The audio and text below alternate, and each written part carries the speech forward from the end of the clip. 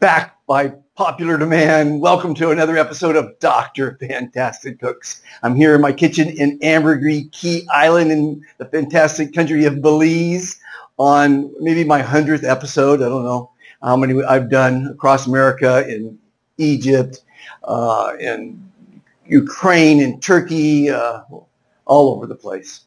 Um, so today uh, it's going to be a really fun show. So stay, uh, don't go away. We're going to cook beef short ribs, and I'm going to serve them on a bed of mashed potatoes with a side of broccoli and a, a delicious salad. But before we get to that, I want to talk about a couple things. Um, it turns out one of my favorite, uh, well, as you know, these recipes that I reveal, some of them are, are, my secret, some are just common. They're fast, they're easy, they're inexpensive, and they're delicious. And uh, guaranteed. So what I learned today, I always like learning new things, is I love ramen noodles.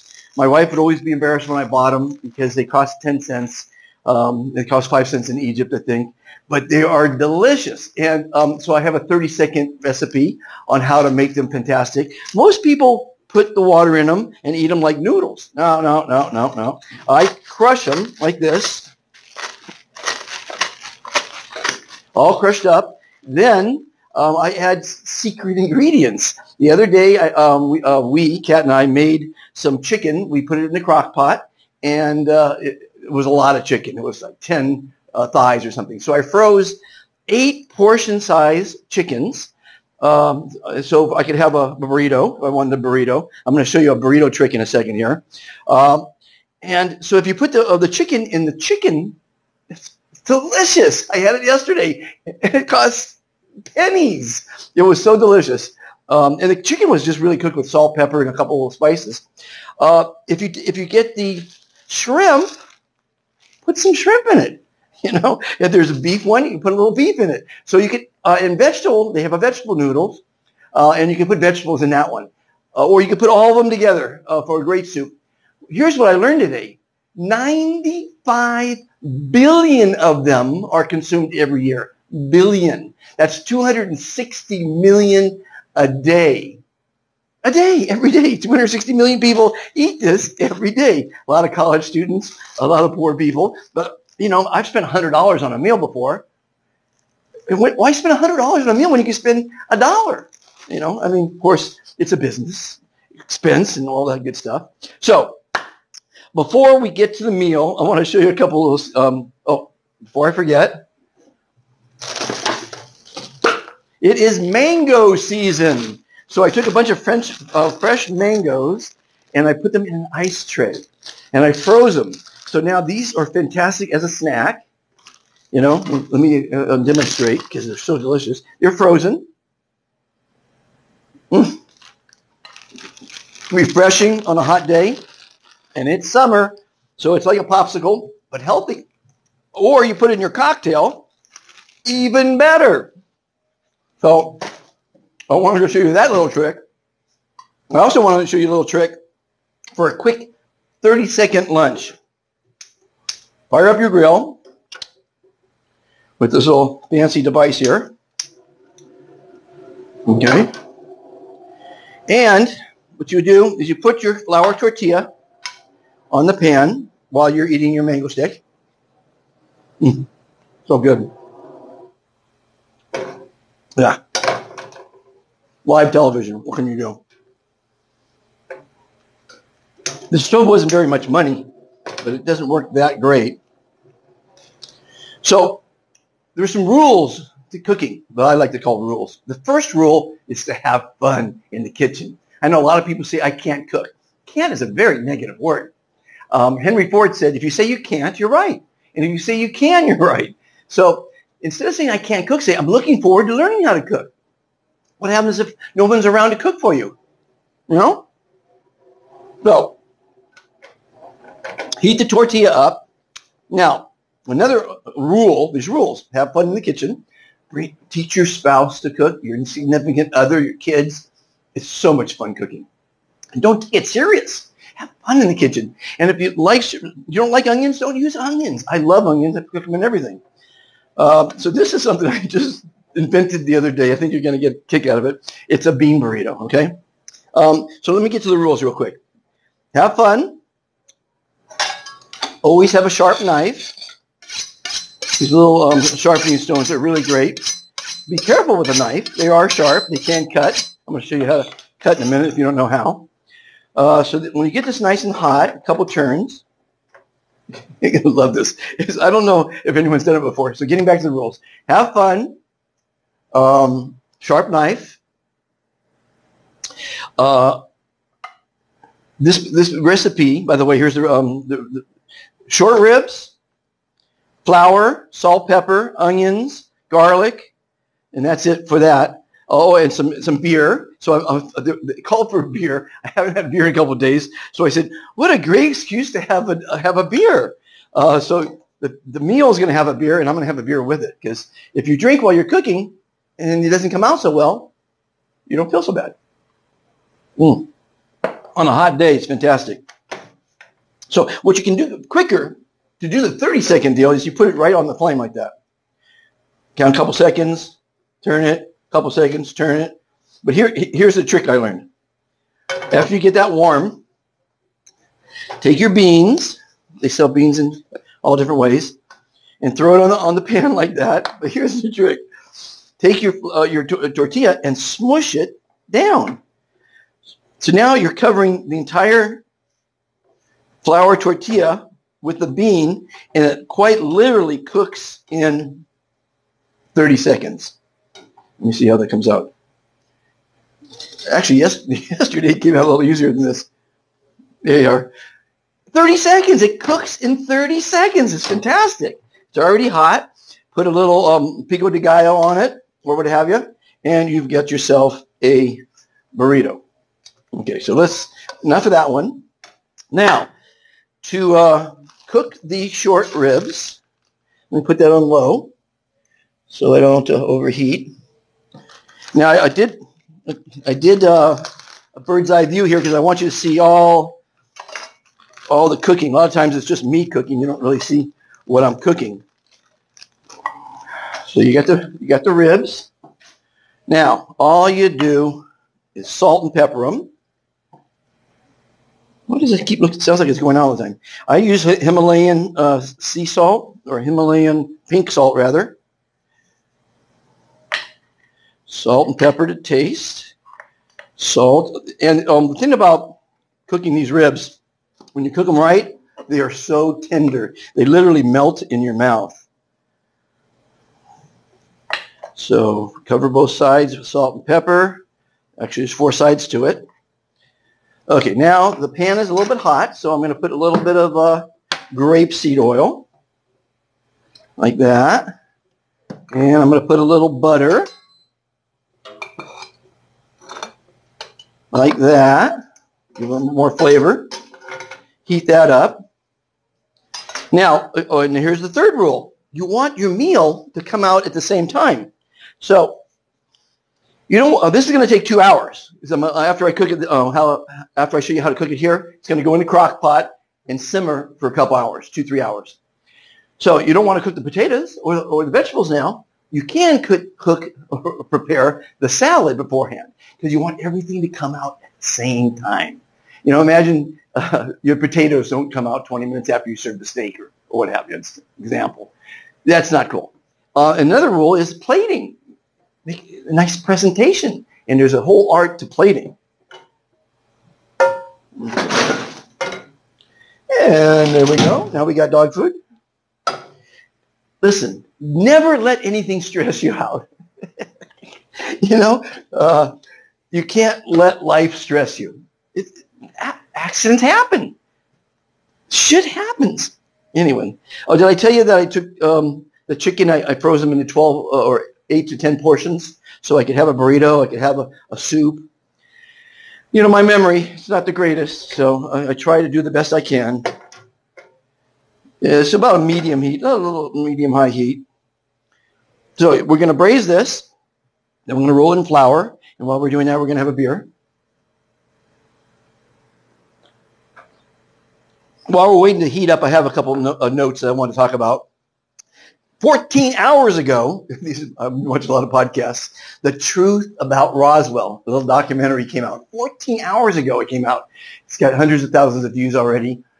And I know a lot about Roswell, but it's nice to be reminded. And they had so many testimonies, so many government um, employees that came forward, so much written documentation, physical documentation. Watch it. The truth about Roswell. It's quite interesting. And a couple months ago, they made a, a thing called Alien Agenda, Planet Earth. That was a couple months ago. Really fantastic. Again, Steven Greer, all, all the usual suspects. Okay, that looks like it's pretty hot. So what you want to do they were putting, you know, if you watch the other episode, I couldn't find these because they were hidden like this.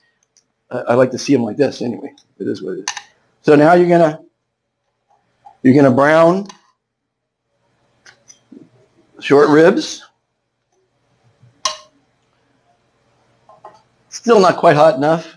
It's live television. Now, um, just so you know, after these brown, I'm going to take them out and I'm going to put the onions in. But when you boil the potatoes, if you put two potatoes in the water, like this, it's going to take a long time to cook. So the secret is to cut them in smaller pieces. The smaller piece you cook, the uh, the uh, faster it will cook. Now you don't have to look when you're cutting if you know how to cut correctly, because what you do is you put your your fingers like this and if you make it a little bit of a mess, it's not the end of the world.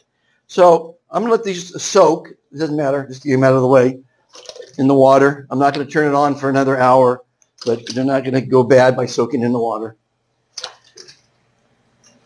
Broccoli. Love broccoli. Uh, it's called a floret. And uh, you know what? I don't like to waste food. And you probably know that about me if you've been watching the show. The stem here, is so, if, if you take it and you cut the outer edge off, and you just get the pulp, I mean, the, the heart of it, and you put a little salt on it, it's real broccoli. So, excuse me. I'm going to saute this in onion. Now, the other thing I'm going to do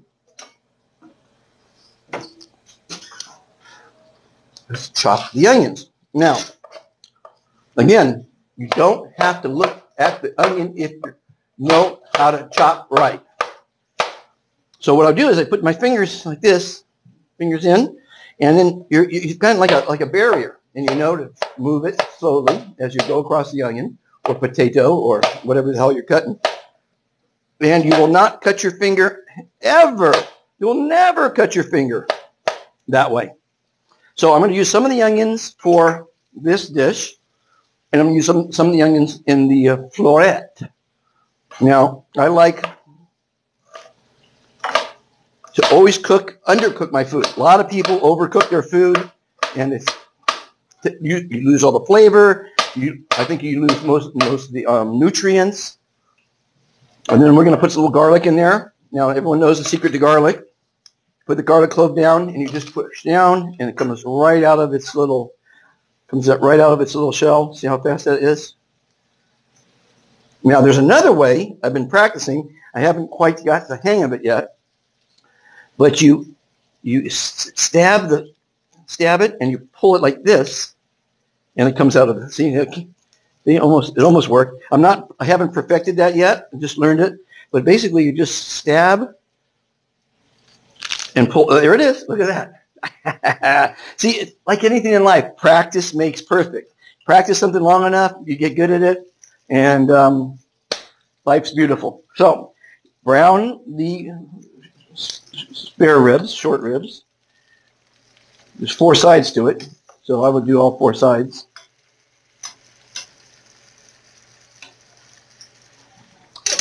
Brown that.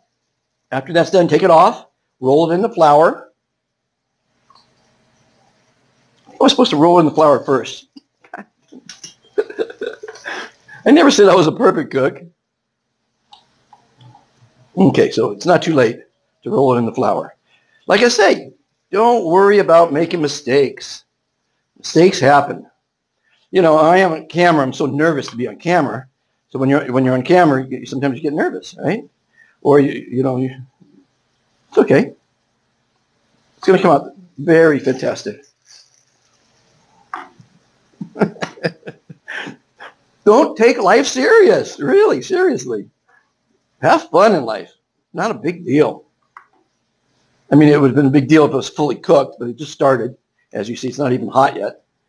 So roll it in that flour, get it all nice and floury.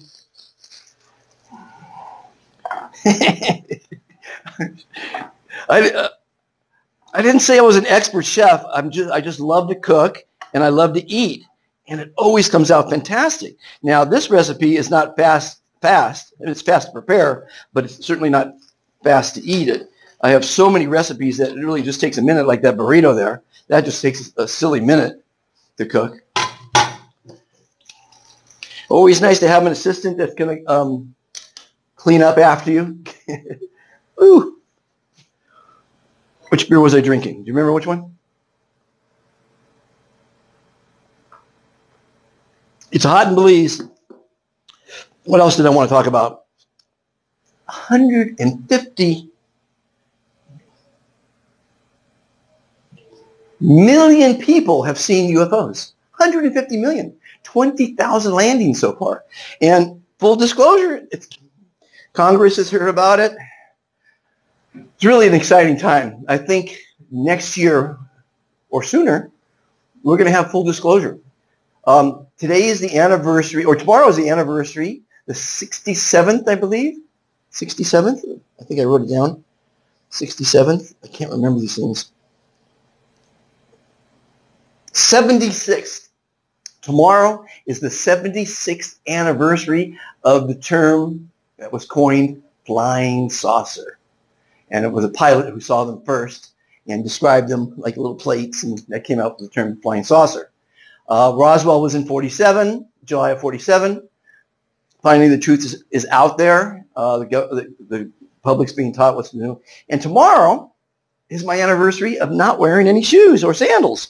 Two months on the planet as an adult on an island without any shoes, socks, sandals uh, of that sort. So that's pretty cool.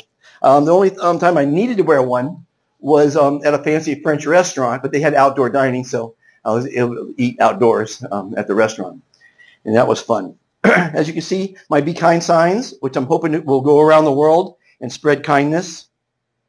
I don't know why it's not sizzling, but that's probably the, uh, that is really strange. It's not sizzling. should be sizzling by now. I got it on high. You know what it is? It's the wind. It's very hot, so I had the wind. I had the wind coming here, so I'm sweating like a pig, as you see I'm wiping my brow. So again, this is live television. Got it on high now. Now it'll start sizzling. Okay, so after, like again, uh, like I said, I could hear it sizzling already. The wind was blowing, so it wasn't getting that hot. Let me take a new plate. For when I remove them. Again, I could cover this uh, dish when I'm done and have it brew here, but so much easier to put in a crock pot. It seals nice. And I tell you, two hours, three hours, the longer you cook it, the better. It comes off. It's delicious. It's soft. It's delicious. Salt, pepper, and butter is what I put in my mashed potatoes. You know, saute the onions and saute the florets later, not now, later. And that'll happen. Uh, so what do I talk about while we're waiting for that to sizzle? Uh, I talked about that. Oh, let me show you the salad. Make your salad well before time because it doesn't go bad. Put it in the fridge. I made a salad of red cabbage, um, red onion, and um, I actually put some sauerkraut in there as well. And basically, if you uh, if I had some beets, that would go nicely too. It's it's very crisp and tangy and delicious. And so the salad beforehand, make that beforehand, and you're in good shape.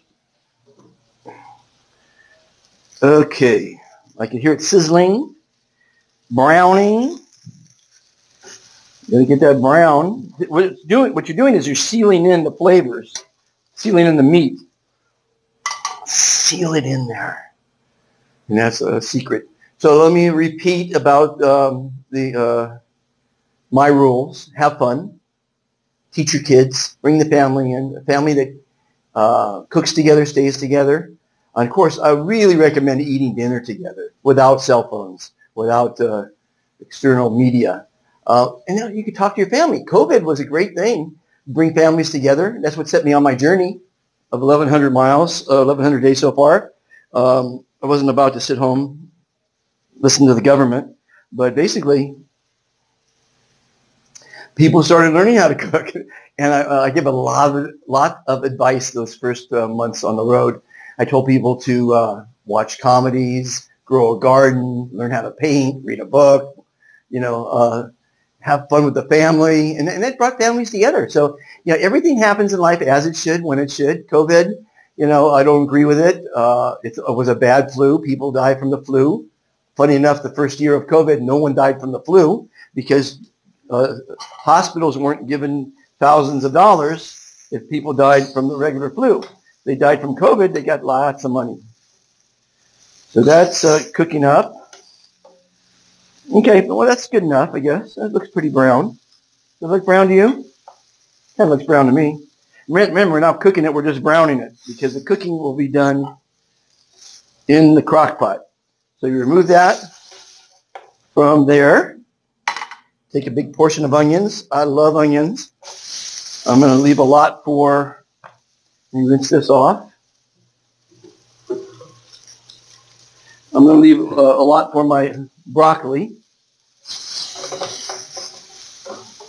Now it's too high. This is only a few minutes. You only need to brown this for a few minutes. I cook everything with onion. I, uh, I put onion in my salads. Um, I put onion everywhere. I just think it's a good base. My wife was is French. My ex-wife is French, and she she was a gourmet cook. I ate like a king for 35 years. Uh, she was a fabulous cook. You don't always need a spatula. You know, you could toss like this. You don't want to cook high heat over things like that. Um, the uh, garlic, you can chop it up if you want. You know, um, you don't really need to. It's gonna it's gonna be in the in the crock. You just want to get those cooking like that.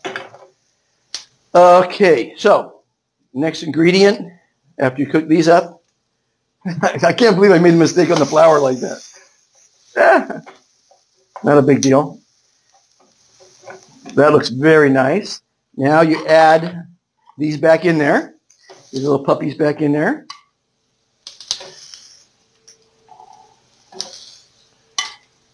Then you're going to add the beer. Bye-bye, beer.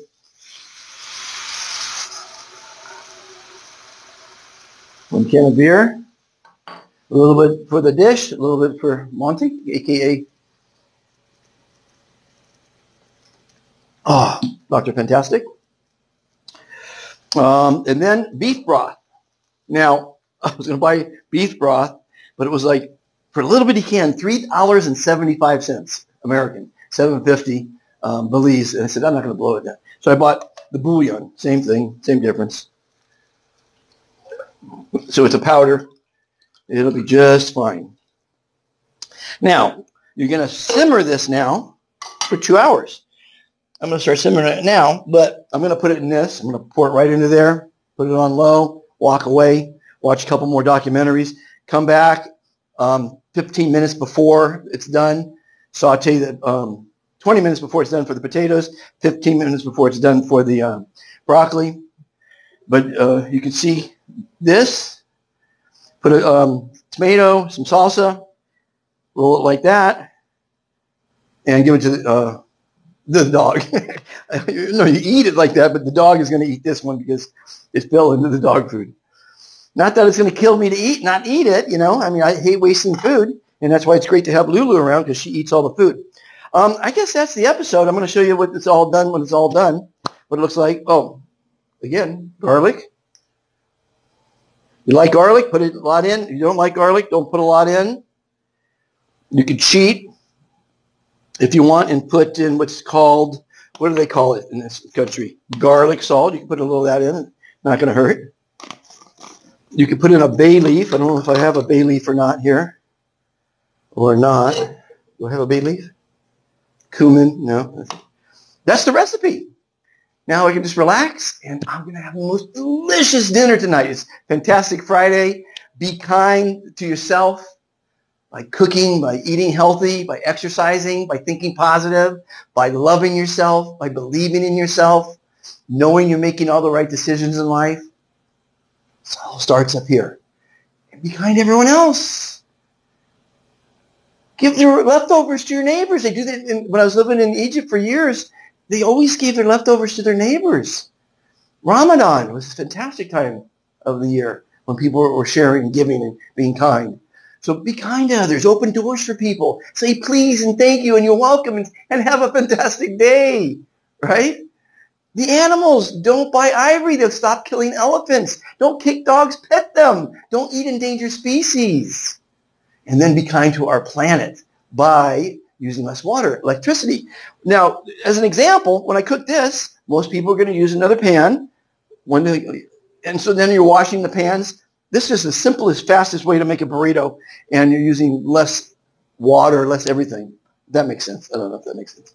Um, don't throw away your food. Freeze it. Use it for um, chef salad. This can go to a great chef, chef, salad. You know, you want to put two different types of meat in a chef salad, a couple different types of cheese, you know, different sorts of things. And um, that's the episode, everybody. Thanks for watching. Have a fantastic day. Um, I'll probably add the, um, the, the finishing touches later on. Talk to you soon. And there she is in the crock pot. And here we have the final product.